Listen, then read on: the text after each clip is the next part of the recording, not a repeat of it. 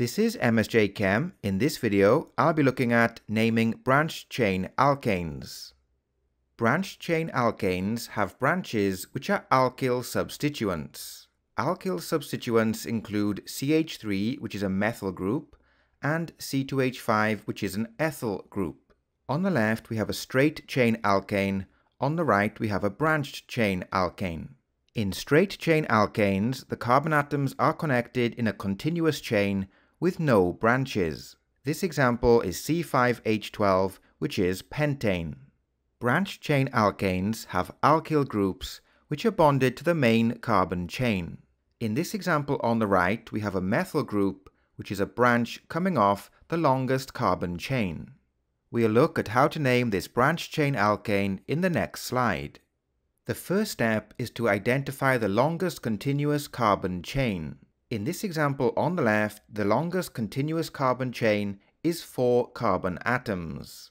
This gives us the root or stem of the name, which in this example is butane. The second step is to identify and number the position of the branches, giving them the lowest number possible. So in this example, we have a methyl group which is bonded to carbon number 2. And the last step, if more than one alkyl group is attached to the main carbon chain, we use the prefixes di, tri, etc. In this example, we only have one branch, so these prefixes are not necessary.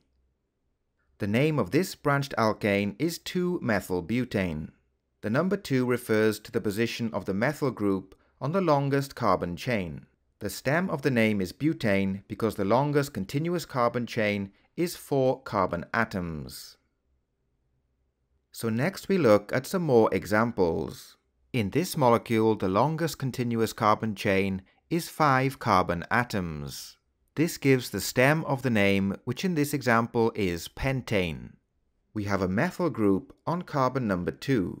Therefore, the name of the compound is 2-methylpentane.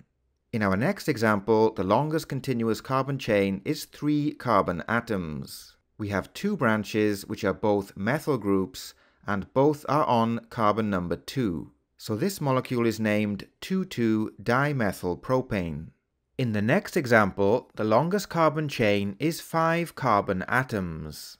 In this molecule, we have two methyl groups bonded to carbon number 2 and carbon number 3. Therefore, the name of this molecule is 2,3-dimethylpentane.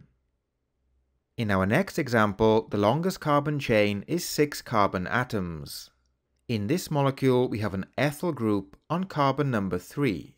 The name of this molecule is 3-ethylhexane. And now we look at our last two examples. In this molecule, the longest carbon chain is 6 carbon atoms. There are two methyl groups on carbon number 3 and carbon number 4. Therefore, the name of this molecule is 3,4-dimethylhexane. And here we have our last example. The longest carbon chain is 1, 2, 3, 4, 5 carbon atoms. There are two branches. We have a methyl group on carbon number 2 and an ethyl group on carbon number 3. The name of this molecule is 3-ethyl 2-methylpentane. Note that because E comes before M in the alphabet, ethyl comes first and methyl comes second, which gives 3-ethyl 2-methylpentane.